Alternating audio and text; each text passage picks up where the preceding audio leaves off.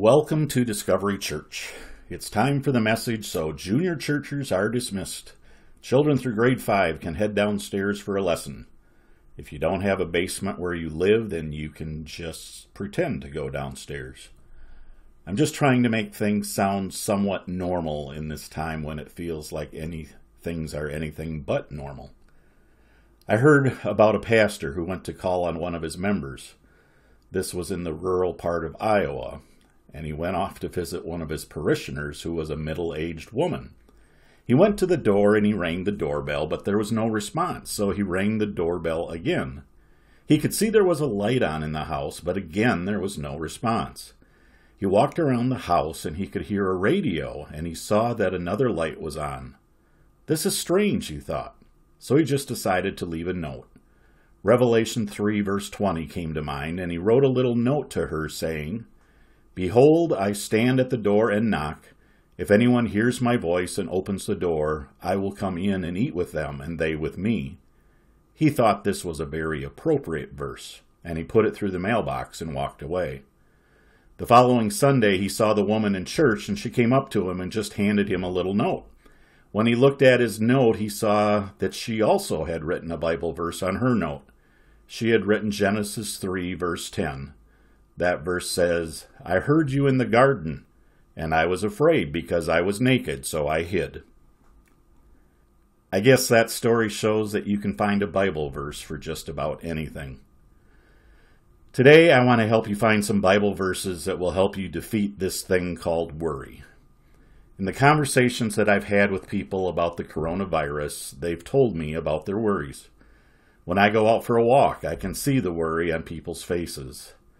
These are uncertain times, and we're in uncharted territory, so we often feel out of control, and that can lead us to this thing called worry. If I came up to you and said, Sit down for a few minutes because I want to teach you how to worry, I think most of you would say, I think I can skip that lesson because I already know how to worry. In fact, I'm pretty good at worrying, and in fact, if they held an Olympic event for worrying, then I might just win a gold medal. I worry about my kids, I worry about my aging parents, I worry about our finances, and I worry about where to find my next roll of toilet paper. These are challenging times. Most of us don't need any teaching on how to worry. We simply need some teaching on how to turn off the worry button that keeps us awake at night. So, where do we find this kind of teaching? We find that teaching from the words of Jesus. Jesus is our good shepherd, and he loves us more than we will ever know. This is the teaching that Jesus gives us about this thing called worry. It's found in Matthew 6, verses 25 through 34. Jesus said, I tell you, do not worry about your life, what you will eat or drink, or about your body, what you will wear. Is not life more than food, and the body more than clothes? Look at the birds of the air. They do not sow or reap or store away in barns, and yet your heavenly Father feeds them. Are you not much more valuable than they? Can any one of you, by worrying, add a single hour to your life? And why do you worry about clothes? See how the flowers of the field grow? They do not labor or spin. Yet I tell you that not even Solomon in all his splendor was dressed like one of these. If that is how God clothes the grass of the field, which is here today and tomorrow is thrown into the fire, will he not much more clothe you, O you of little faith? So do not worry, saying, What shall we eat, or what shall we drink, or what shall we wear? For the pagans run after all these things, and your heavenly Father knows that you need them. But seek first his kingdom and his righteousness, and all these things will be given to you as well. Therefore, do not worry about tomorrow, for tomorrow will worry about itself. Each day has enough trouble of its own. When you look back at verse 25, Jesus simply says, Do not worry. So, how do you react to that statement? Do you find yourself thinking, sure, that's easy for him to say, but he doesn't know about all the promise, the problems in my life that I'm dealing with right now? If you ever find yourself feeling that way, then remember that Jesus does know about every problem in your life, but he still wants to tell you that it's foolish to worry. It's interesting that Jesus doesn't just tell us not to worry, he also tells us why we shouldn't worry. So, why shouldn't we give in to this thing called worry? The first reason is this we don't give in to worry because worry is unproductive. Maybe we could defend our habit of worrying if we could prove that it was helpful or productive, but it's not. It's like a screen door on a submarine. It just doesn't do much good. Jesus said this in verse 27 Can any one of you, by worrying, add a single hour to your life? Jesus is saying that worry is unproductive. You can't add a single hour to your life by worrying. Worrying can't help you grow an inch taller or an inch shorter. Worry can't really change anything in your life. In fact, the only thing worry can change is you, and that's because worry can make you miserable. Have you ever thought about how much time you have wasted on worrying in your life? One research study revealed that we spend over five years of our lives worrying. That's over 14 hours every week. Now, some of you are probably worried about how much time you waste worrying. Think of all the good things you could accomplish with those 14 hours each week that you waste on worrying. And let's not forget that some of you are overachievers. You waste way more than 14 hours each week on worry. It's good for us to realize how unproductive worry is. Worry cannot change anything in your past. It's already done. Your past is in your past, so why are you worried about it? And then worry cannot control your future. If you worry about the future, it won't change anything. So if you worry about what you can't change in the past and you can't change the future, then what can you do? It simply messes up today.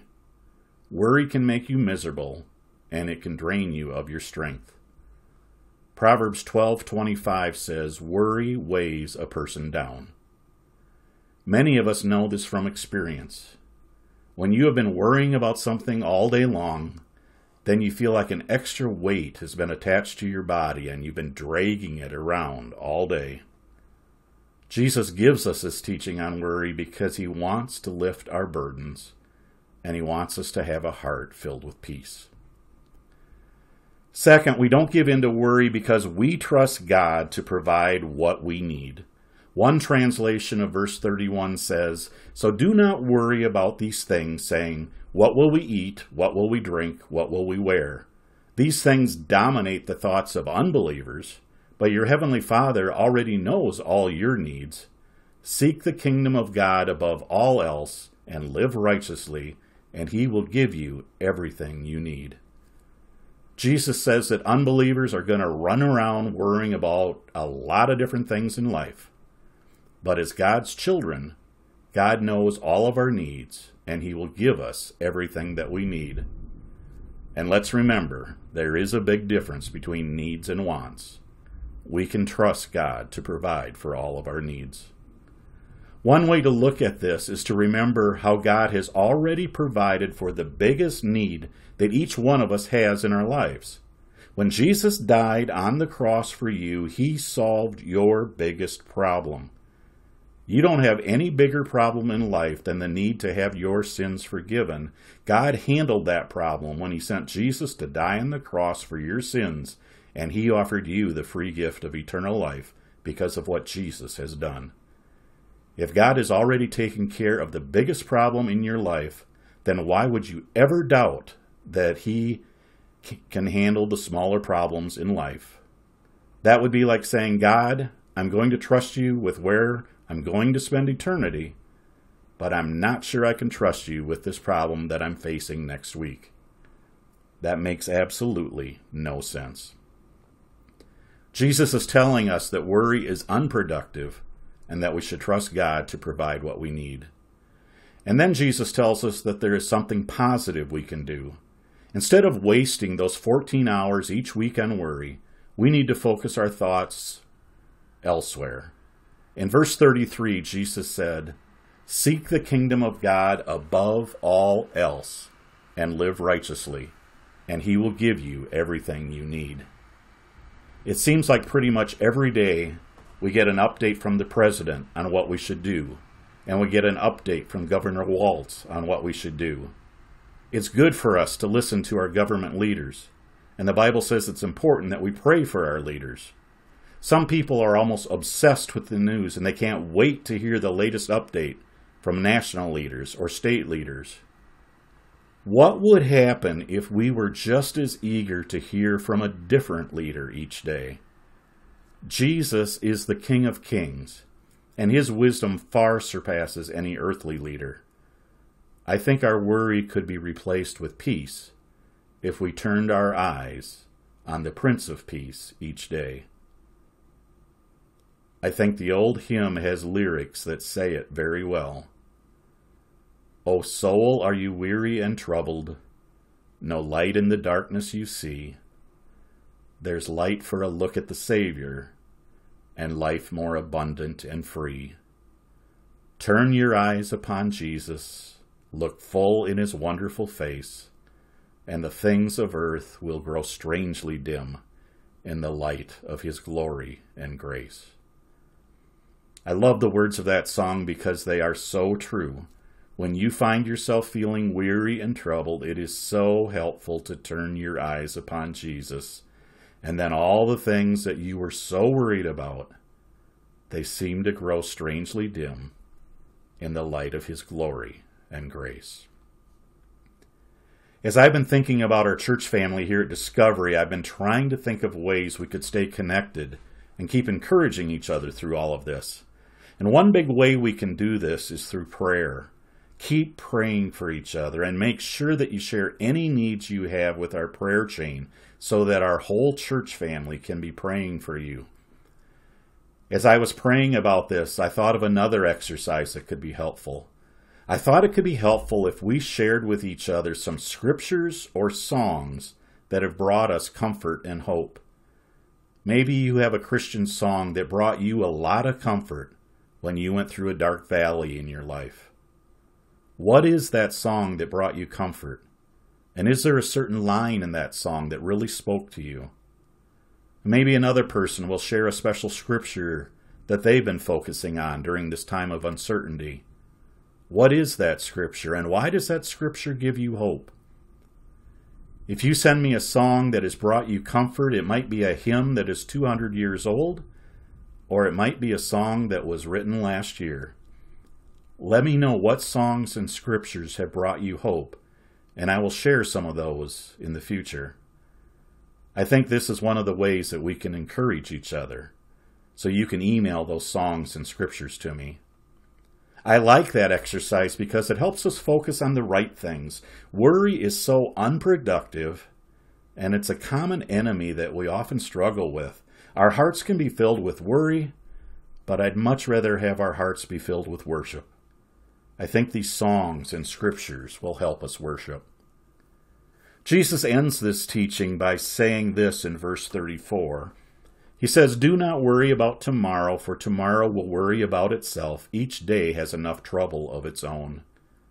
Do you find yourself agreeing with that verse? We don't need to borrow trouble. God's going to give you enough grace for today. Some of you might be doing just fine today, but you're already worried about tomorrow. I was talking with Brian, and he said, Sure, the grocery stores are open today, but what if they close the grocery stores tomorrow and we have to start hunting for our food? I don't even know where Pop Tarts live. One writer said there are two days of every week that you should never worry about yesterday and tomorrow because you can't do anything about them. You don't worry about the future until you successfully learn to manage today. Some of you aren't doing that good a job on that one. Why are you borrowing trouble and worrying about something that's happening in two weeks? When you think about it, today is the tomorrow that you worried about yesterday. Let me say that again.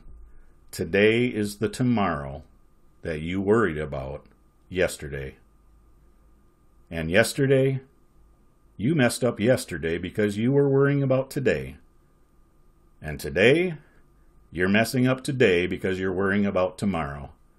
It really doesn't make any sense to do that. That's why Jesus tells us to only live our life one day at a time. I love the message paraphrase of verse 34. It says, Give your entire attention to what God is doing right now, and don't get worked up about what may or may not happen tomorrow. God will help you deal with whatever hard things come up when the time comes. As you think about today's teaching on this thing called worry, I want you to remember who gave this teaching. It comes straight from the mouth of Jesus, and Jesus has identified himself as the Good Shepherd in John's Gospel.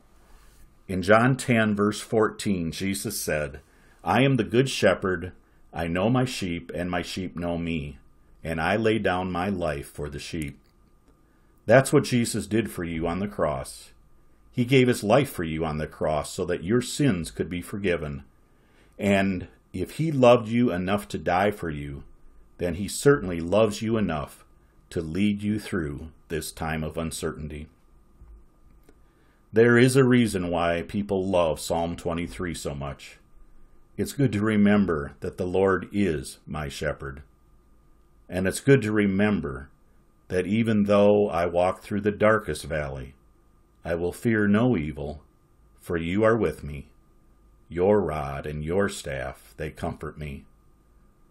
This time of uncertainty with the coronavirus can seem like a dark valley, but let's remember that we are never alone in this valley. You will find comfort when you remember that Jesus is your good shepherd. I think it would be wise for us to pray the prayer that David prayed in Psalm 28. In that psalm, David prayed, Come, Lord, save us and bless us, be our shepherd, and always carry us in your arms. I love that picture of Jesus being a shepherd and carrying us in his arms. Do you remember when you were a little kid and your parents would take you on a long outing? Maybe you went fishing or you went to the amusement park. You had a lot of fun, but by the end of the day, your little legs were all worn out, and that's when mom or dad had to carry you to the car. You don't remember the trip back home, but somehow you arrive safely back home. You know, that's what can happen with us now as, as adults when we face a week that is just plain exhausting. Maybe the daily updates about the coronavirus are wearing you out and you're tired and you feel like you can't put one foot in front of the other. That's when it's perfectly fine to go to God and say, Lord, I'm just worn out from all of this stuff. I'm exhausted and I need you to carry me right now. Jesus is happy to hear those words from us. And he says, I'm your shepherd, and I will care for you, and I will bless you. I will protect you, and I will save you. I will give you discipline when you need discipline. I will guide you, and I will defend you. And when you are worn out and tired, then I will carry you. As we end this message, I want you to remember that God has invited you to give your worries and your anxiety to Him. God knows what you've been worrying about this past week, and He wants you to give those worries to Him. 1 Peter 5 7 says, Cast all your anxiety on Him, because He cares for you. The reason you can cast all your anxiety on Him is because He cares for you, and He can see what these worries are doing to your life. He wants to take those worries and replace them with his peace. In his book Worry Less and Live More, Robert Morgan illustrates the fact that many in our society are very conscious of their anxiety. He writes Amazon keeps track of your highlights. When ebook owners mark sentences, The online retailer knows what you mark and they record it. Recently, Amazon released a list of the most popular passages in some of their best selling books, such as The Hunger Games and the Harry Potter series. They also released the most highlighted passage in the Bible. I expected America's favorite scripture to be John 3:16 or Psalm 23 or the Lord's Prayer. But none of those passages came in first. The most highlighted passage from the Bible was this scripture from Philippians 4, verses 6 and 7. That scripture says, Don't worry about anything, but pray about everything. With thankful hearts, offer up your prayers and requests to God. Then, because you belong to Christ Jesus, God will bless you with peace that no one can completely understand. And this peace will control the way you think and feel. I can't think of a better scripture for us to end this message on, so let me read that scripture again and then I'll close our time in prayer. Don't worry about anything, but pray about everything. With thankful hearts, offer up your prayers and requests to God. And then, because you belong to Christ Jesus, God will bless you with peace that no one can completely understand and this peace will control the way you think and feel. Let's pray together. Heavenly Father, I want to pray for our entire Discovery Church family. I know that in this time of uncertainty, it's been so easy for us to focus on some things that make us worry. But Lord, I'm praying for all of us that you'll remind us how unproductive worry is and Lord, instead of the worry, I just pray that we can experience your peace. You've invited us to cast our cares and worries on you, and that's what I pray that we will do today and every day. I thank you that you are the good shepherd who will carry us when we're exhausted. I thank you that you are a, a God who can give us a peace that only you can give. So, Lord, fill us with your peace Help us to be lights shining in the darkness. We trust you, Lord, to lead us through this time. It's in Jesus' name we pray. Amen. Have a great week.